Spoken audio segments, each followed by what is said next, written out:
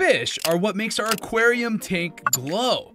Even though our tank has plenty of necessary things like substrates, plants, filtration equipment, etc., the presence of our aquatic friends makes it livelier and more interesting to look at. All the species of fish available in the hobby are worth trying for. However, there is this one species that will actually literally glow in a tank with the right lighting. Oh, you mean a fish that actually glows? It glow like glows in the dark. Let me get this thing ate a whole fluorescent lamp? Well, kind of. What? What? I know it's quite hard to believe, but you won't have to worry about it, because as you go along with this video, you'll understand the reason why GloFish literally have the ability to glow in your tank, as well as the 7 types of GloFish and the ABCs when taking care of them. All this information only here at Aquarium Store Depot.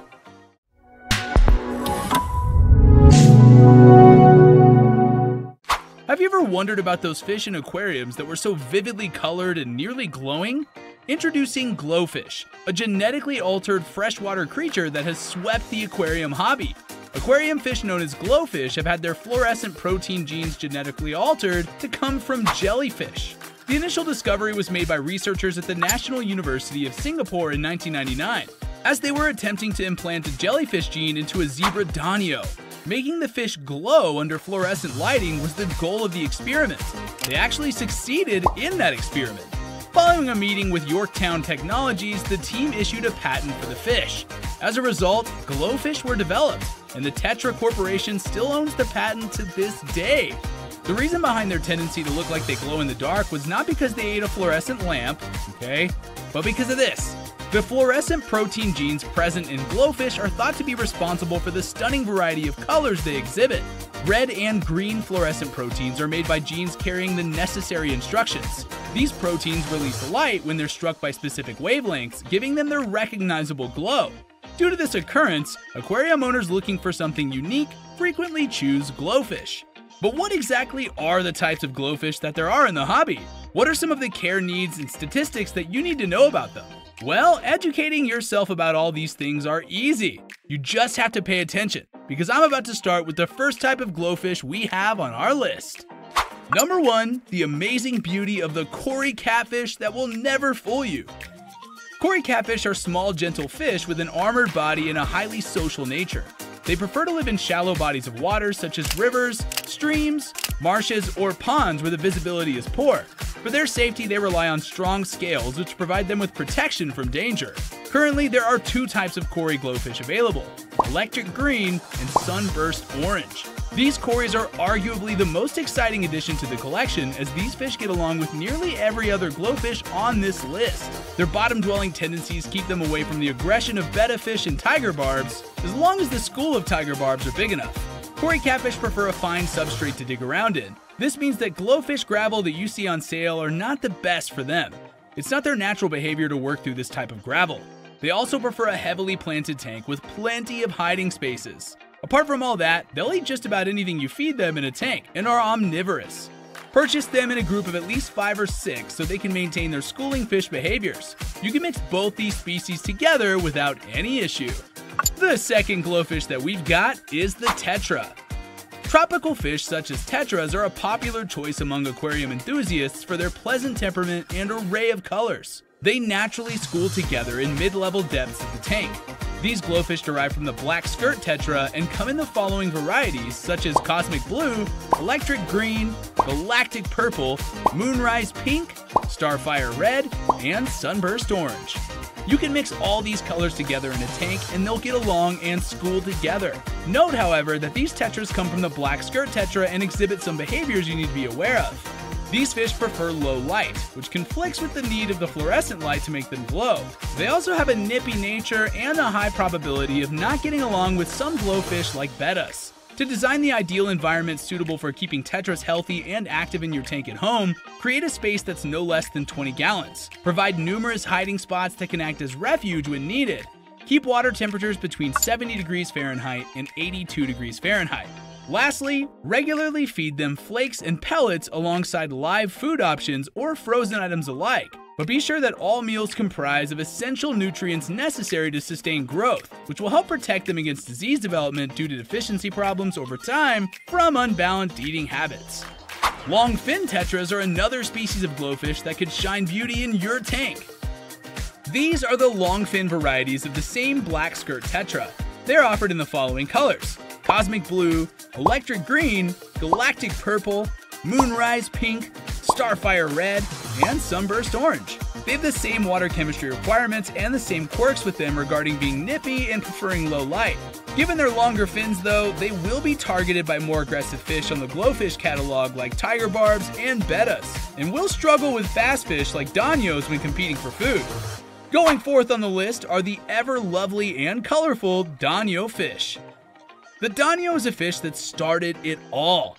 Originally, the zebra danio, also known as zebrafish, was the first GloFish that was available in electric green.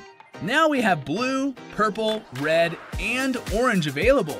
These ditherfish need a group of at least five in order for them to stay less stressed and curb aggressiveness. They're best in at least a 10 gallon tank since they need lots of open space to swim in.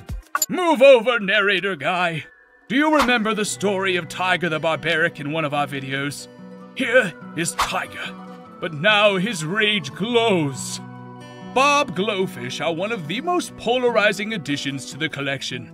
Regular tiger barbs are semi aggressive, and these varieties are no exception. Just like our Tiger the Barbaric, they will bully and nip every fish in this GloFish collection except for the rainbow shark. They're not for beginners, and are probably best in a species only tank or housed with a single rainbow shark in a group of at least 12, versus 5 like suggested on the GloFish website. They come in three colors electric green, starfire red, and sunburst orange. If anything, I'm hoping one day GloFish comes out with a cherry barb or gold barb, as those barbs are more community oriented fish. Oh, hey, hey, all right, get, get, get out of here. Get out of here. Sorry about that. Jumping onto the sixth type we've got on the list, you better give a shot in owning a Pristella. Pristellas are small, brightly colored freshwater fish native to South America with a peaceful temperament. With regular varieties, males have deeper gray bodies and a more vivid red tail than their female counterparts. These species make excellent tank mates for other GloFish, as long as they're not kept with any long fin varieties, as they're known for nipping long fins. They're available in electric green, galactic purple, and sunburst orange. This next GloFish sounds too scary, but it will light up your whole world. Meet the rainbow shark. The sharks in the GloFish collection come from the rainbow shark. It is the largest and most aggressive in the GloFish catalog, requiring an aquarium of over 50 gallons to house them properly. The GloFish site states 20 gallons, and I will tell you that is bad information. These fish, once they hit 3 to 4 inches in length, will come into their own. And if you house the wrong fish with them, they'll experience their aggression. The only fish I would recommend in GloFish's catalog would be the tiger barbs. Both species of fish go hand in hand and have similar temperaments as long as you can put them all in a big enough tank. These GloFish sharks have four colors currently available Cosmic Blue, Electric Green, Galactic Purple, and Sunburst Orange. And lastly, we've got here the betta that will make your tank look better. The betta GloFish is the only GloFish I would recommend in small tanks. They can be housed alone in a 5 gallon tank or in a community tank at 10 gallons and up. They can also be kept in a group of females if you have a large enough tank, minimum 29 gallons. They prefer planted aquariums, and given their fins and slow moving nature, they're best not housed with the plastic fake plants that GloFish offers in their catalog. You're best to use silk plants or just opt out of the lighting for the GloFish and go with a planted tank and use your moonlights when you want to see your betta glow in the tank. All these incredible GloFish types are worthy to put in your tank. However, not because they literally shine on their own, most are easier to care for. In order to make them glow and be alive in your tank, you'll have to do some necessary best practices. What are those? Let's discuss them one by one. Starting off with the first thing you need to consider, creating a suitable aquarium for them. To create an optimal environment for your GloFish, begin by selecting the right sized aquarium and tank. Then ensure that it's equipped with suitable lighting which adds to its attractive characteristics while providing a comfortable habitat as well. While you can include decorations tailored specifically for enhancing the vibrant look of your GloFish, it's best to focus on what's naturally beneficial to them. When deciding on the proper tank size for your GloFish, keep in mind that at least a 5 gallon capacity is necessary. This is in conflict with the GloFish website as they offer kits smaller than 5 gallons. However, I would not recommend any fish for anything under 5 gallons. Between 5 and 9 gallons, I would only consider betta fish. After you hit 10 and up, you can consider other fish for a community tank. Note that the largest aquarium offered by GloFish is 10 gallons. And of course, creating the perfect environment for GloFish involves more than just lighting. To achieve a tank with a beautiful vibrancy, a proper light should be utilized to enhance their colors while producing an inviting atmosphere in your aquarium. Second thing you have to take action with is the maintenance of water quality. GloFish species are native to tropical climates, which means they need heaters in order to keep the water temperature stable and within their preferred range of 61 to 81 degrees Fahrenheit. Of all GloFish available, the betta will 100% require a heater, the danio fish is the only fish on the list that you can keep without one. In terms of water parameters, you should note that GloFish are less hardy than their non-modified counterparts. Also, many systems will not include live plants, which will limit the ability to handle nitrates. It's best to stick to the parameters when considering water changes. If any of these levels are off, you should do a water change ASAP. Also, the ideal system used specifically for these fish would be a hang-on filter. Some of the available kits will offer a baseline filter supplied by Tetra, which I consider okay. I would opt for a quality hang-on like an AquaClear or the new OASE power filters that allow you to place a heater inside the filter. And of course, like anyone else, GloFish have a wonderful set of food choices. When it comes to feeding your GloFish, there are various types of food you can give them. All the fish offered by GloFish are omnivorous, so they'll eat the same food. Here are some types of food that work well, most of which are offered in flake, freeze dried, frozen, or in pellets. Check out your screen for a much particular choice. I know that you're still wanting more information, but don't you worry because we've got the answers that you need. Where could you find them? Only on our official website at www.aquariumstoredepot.com where detailed explanation and information about GloFish suitable tank mates, commonly seen behaviors, potential health ailments, breeding, and other answers to those frequently asked questions were posted. We keep these videos bite-sized so you can learn fast. The full information and updates are always available right on our website.